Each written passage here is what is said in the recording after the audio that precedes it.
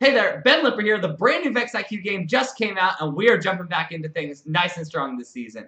So when it came out, I initially wanted to build a robot like right away. I didn't have any pieces. Um, we don't have like the discs are a little unique this year, so um, I had a bit of a challenge trying to recreate those. So I ended up waiting until I got the new game set. As soon as it showed up in the mail, though, we ripped it open, built the field, and built a robot like all in that day. Stay up till like midnight practicing and trying to get it to work. Um, but I think we finally got it. Go ahead and check it out. Now, if you're looking at this robot, you're thinking, hey, that looks pretty good. I might be interested in building something like this. There's a link in this video. Go and click it. Um, we'll send you a whole bunch of details on kind of how the robot's built, what it looks like, all that good stuff. The idea is just if you want some inspiration, kind of want to see what other people are doing, go and click that link. Uh, I'll send you some details. One thing this robot does really well is the easy stuff.